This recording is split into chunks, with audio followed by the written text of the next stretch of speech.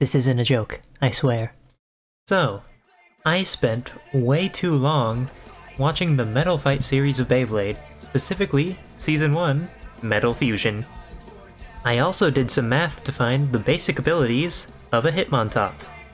First off, each matchup gets three fights, being one with Beyblade rules, one where Hitmontop gets a held item, and a final destination items off style match, where stamina and move PP is not factored. Let's go over Hitmontop. As for moves, it is allowed any set of moves for each battle, but of course, it's limited to 4. The average power of a move in Pokemon is around 80, so moves close to that are going to be considered an average attack, including their effects. Anything below that is likely a speed-based attack, anything above can be considered a special move. It will most likely have Swift, Brick Break, Double Edge, and Rock Slide. Now, let's look at the attack stat. In the anime, a Dewott that was likely of above average caliber broke 11 roof tiles, a popular sport in Japan. These are likely made of ceramic, and ceramic tiles are said to require 125 pounds of force to break, being 556 newtons.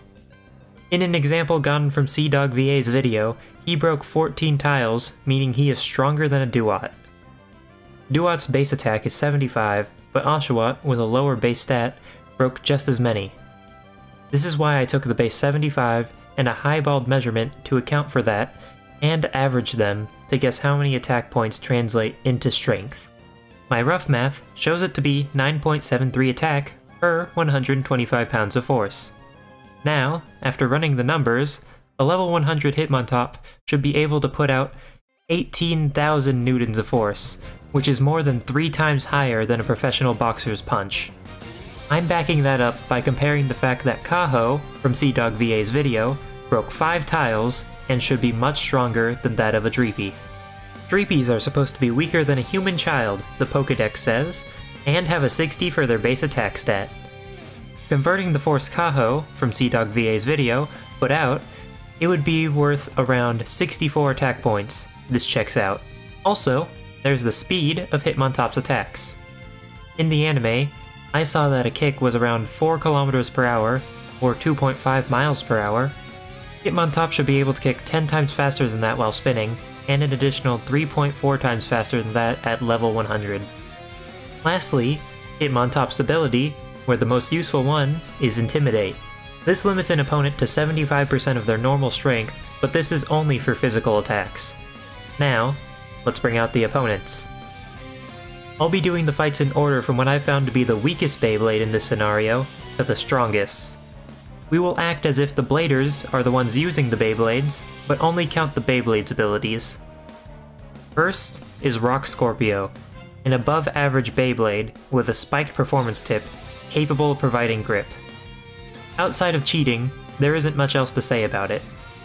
Now, a Beyblade only weighs 22 grams, so without a significant amount of power, they're easily beaten. In a stadium, Scorpio's best bet is to run away, but it realistically can't win the fight, and is quite possibly slower than Hitmontop. Hitmontop would knock it out of the park. In a battle where Hitmontop has an item, it would be the same, no matter what item it had. The same goes for the final fight. Next, let's look at Mad Gasher. Mad Gasher is actually strong enough to shear off parts of defeated Beyblades, including the Metal Fusion Wheel. It also had shown the ability to raise its performance tip mid-battle, not really having much of an advantage. In a stadium match, I doubt that Mad Gasher could get a stadium out, and Hitmontop could easily beat it. No held item is needed, and the final match would be the same result. Next is Dark Gasher, where I'll be honest with you, it's not much different than Mad Gasher. Win goes to Hitmontop.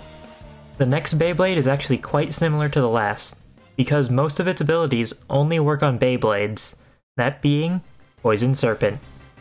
If Poison Serpent had its spin track in defensive position, I think it could do well to protect against Hitmontop's attacks, but not against Rock Slide, and would lose the match. The same goes for its second and final matchups. The next one is interesting though, as we welcome Storm Aquario into the ring. Storm Aquario has some power feats, having crushed several pillars, most likely made of mortar, being 13.5 centimeters thick, or 5 and a third inches. Not only that, Aquario has illusions it can create, and can also move in bursts of speed due to its performance tip, but naturally doesn't move that fast. Last but not least, it can also turn invisible. Now, I think Aquario can give Hitmontop a run for its money in a stadium. While the illusions are similar to Double Team, and Hitmontop can use Swift, it needs something else to deal with the invisibility. If Hitmontop doesn't use a move like Twister, Aquario might be able to get a knockout if it catches Hitmontop off guard. However, if Hitmontop ever was using a move like Twister, or kept its guard up with Rapid Spin, Aquario could never knock it out. Win goes to Hitmontop. Now, with a held item, I think Hitmontop would take a Rocky Helmet to ensure its odds, because it has a defense that's about as sturdy as its offense. So, even if it didn't defend against the invisibility, it could win long term. Lastly, in the final match, Hitmontop should be able to use Twister to win. Next up is Storm Capricorn. Capricorn's actually a huge step up in attack power, being able to consistently crush an arena it jumps around in. Capricorn also has the ability to shoot itself quickly in a direction, like a sniper's bullet. Now, in the stadium, I believe that if Capricorn were under the effects of Intimidate, it would still be able to jump around, but not create craters in the stadium. If Hitmontop used Swift or had Counter, however, it could stop Capricorn's jumping around, and Capricorn hasn't shown high durability, so Hitmontop wins. With an item, Hitmontop would take leftovers so it can keep using counter on Capricorn, and it would win. In the final match, Hitmontop could use the same strategy as in the stadium. Now here we have Evil Gemios, a dangerous opponent for Hitmontop. Gemios has the ability to shoot blasts of fire and ice, which seemed to be something it could actually do and wasn't just for visuals. In a stadium match, it can attack from far away, taking advantage of the fact that it's both great at counterattacking and Hitmontop can't deal much damage with ranged attacks. Earthquake wouldn't work as a spinning top wouldn't be affected by the ground shaking that much, and I'll say that Dig won't work because digging under the stadium won't be allowed. Given that these Beyblades are all made of metal, Sandstorm and Toxic couldn't deal damage. However, Stone Edge also attacks from below and doesn't involve the target going under the stadium. If Hitmontop had a held item, it would be best if it used a King's Rock with triple kick so that Gemios couldn't counter it. In the final match, I think that Hitmontop could win, because it would now be able to use Dig, and Gemios couldn't protect against an attack like that. Next up is Aries, a really powerful bay. Aries has shown the ability to cut trees and crush boulders, and has excellent defense to boot. I think that Hitmontop would be in trouble after only a few attacks from Aries. In a stadium match, Hitmontop's best chance is high jump kick, as Aries is weak to attacks from above, but the move has a drawback. If Hitmontop misses, it'll take significant damage or fly out of the stadium. But Hitmontop has Mind Reader to let it never miss the next attack, so it wins. With a held item, Hitmontop should easily win, by using a wide lens to maximize accuracy. In the final match, I think that Dig would come in handy once again, as Aries' defense relies on attacks from the side, so Hitmontop wins that.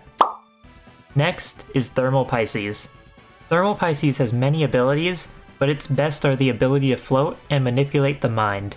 In a stadium, Pisces' floating ability wouldn't be of any help, but being able to cause Hitmontop to be confused and possibly attacking it mentally could work very well. Hitmontop does however have a move called Vacuum Wave, and vacuums have proven to be a weakness of Pisces. But Vacuum Wave is also a very low power move, and a special attack at that, meaning it would do minimal damage. I believe that if Thermal Pisces would activate its ability first, it would be able to get a stadium out on Hitmontop. With a held item, the most appropriate thing is a Lum Berry, which can cure the holder's confusion. Very straightforward, Hitmontop gets the win. In the final match, I believe Hitmontop would win, on the grounds of Pisces not really having any attacks that are powerful enough to win without stadium outs being an option. Upcoming, we have Earth Virgo. Virgo has supreme defense on its sides, and can redirect powerful attacks coming from above. Now, in a stadium, with the use of Mind Reader, I think that Stone Edge would be able to easily put out enough power to defeat Virgo. With a held item, Hitmontop can assure its victory by using leftovers, being able to take more hits so it can get out Mind Reader and Stone Edge. For the final match, it's nothing different. Hitmontop wins. Next is Flame Sagittario, a strong, but not amazingly strong Bay. I'll be blunt, with the introduction of Mind Reader, outlasting Hitmontop is extremely hard, as Stone Edge is more than powerful enough for many Beyblades to withstand. A Bay either needs to beat Hitmontop fast enough, or withstand that type of attack. Sagittario loses this. Here's an exciting one though, being Cyber Pegasus, one of the most powerful bays in terms of raw power. While self-destructive, Cyber was able to destroy two large logs while going up a waterfall and flew up into the sky in an instant. This raw power could easily get a stadium out on Hitmontop, but also take Cyber out. I don't think that Cyber could do much damage without using this move, so it's ultimately a tie. Let's bring up the fact that Hitmontop's average attacks at level 100 are about as strong as 3 professional boxers. A group of professional boxers wouldn't be able to break the logs that Cyber could in such a short instance. Hitmontop could only take around 3 of its average attacks, and I believe Cyber could deal the damage needed to knock it out. However, with an item, specifically a Focus Sash, Cyber would either have to not use the move or would be knocked out with Hitmontop still standing. Lastly, in the final match, it would yet again be a tie due to Cyber's self-destructive attack. Next is Earth Eagle, a defensive type that's usually suited to fight against opponents from below it. Eagle has the ability to jump, attack from above, and also counter most types of attacks, even supersonic ones. Now, I doubt Stone Edge could even reach Eagle when it's in the air, and like flying types, ground type moves like Dig couldn't hit it at all. Hitmontop's best moveset for this would be Swift, Focus Blast, Counter, and Mach Punch. Mach Punch was chosen because Hitmontop would need the speed to hit Eagle in the moments it's closest to the ground, the range moves are when it's highest, and of course Counter to deal with its onslaught. However, I don't think that Hitmontop could win because Eagle's defense has shown to be outstanding, so I think eventually it would beat Hitmontop. With an item however, if Hitmontop had leftovers, a battle of attrition is much more in its favor, so it would probably win. In the final match, I'd say that it's the same as the first, but with an even more clear win for Eagle since stamina is no longer taken into account. Next up is Burn Fireblaze, a Beyblade that has a metal performance tip and can melt steel. Burn Fireblaze not only has incredible heat, but control and power as well, so I think that in a stadium match, it can outmaneuver Hitmontop as well as exchange equal blows, so win goes to Fireblaze. With an item, I think it's a strange choice, but the best being a choice band using the move Facade. If Fireblaze were to burn it, then Facade would become a vicious attack, and it needs no other attack if it has that, so boosting its damage with a choice band is best. If Fireblaze doesn't burn it, then it's losing out on a lot of its power. In the final match, I think that Hitmontop would actually win again, because in an open area without stadium outs, Fireblaze can't just outmaneuver Hitmontop, and Hitmontop can have Facade and Vacuum Wave. Next up is Dark Bull, a bay that specializes in power. Even since the beginning of the show, Bull has had the strength to punch holes in concrete and tear up the ground beneath it. In a stadium match, I do however think that Bull's defense isn't good enough to withstand an attack like Stone Edge or Rock Slide in a stadium, so win for Hitmontop.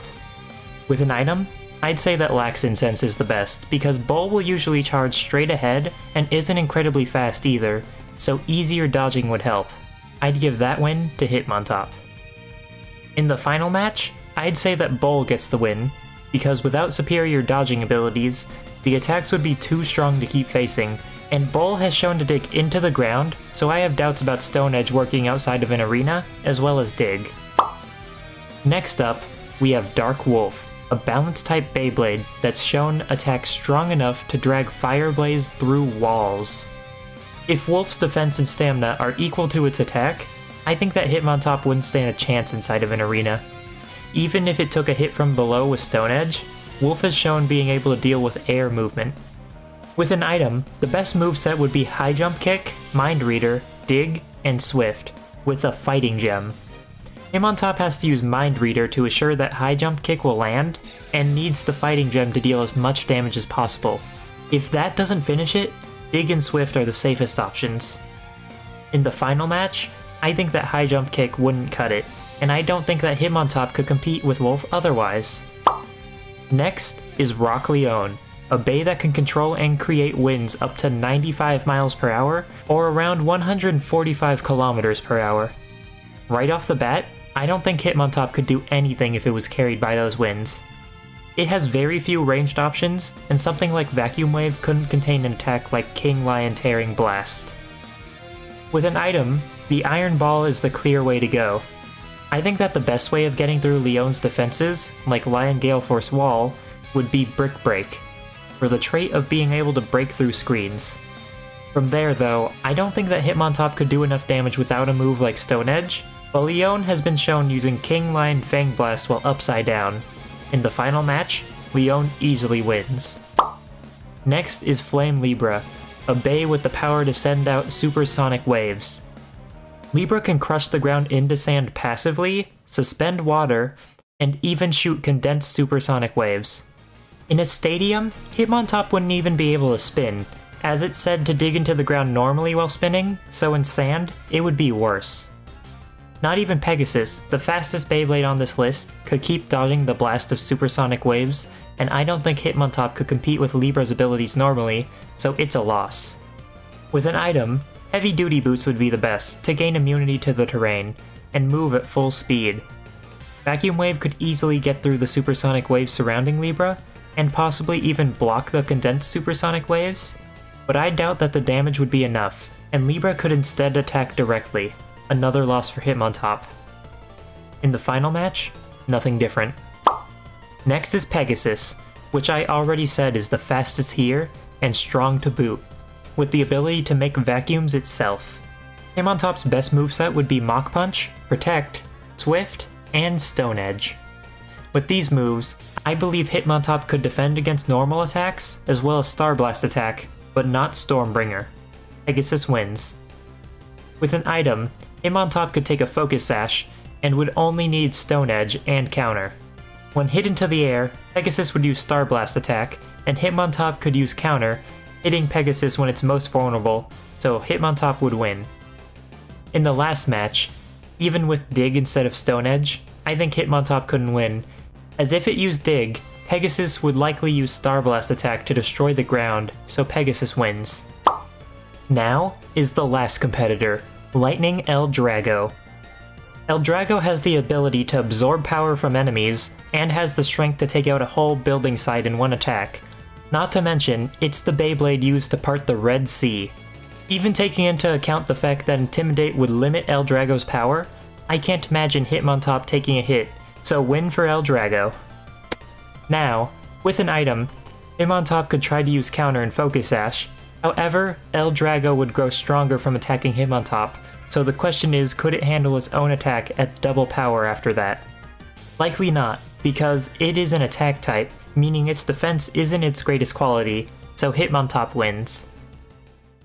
Now, for the final, final match. L-Drago wins, end of video, happy April Fool's Day!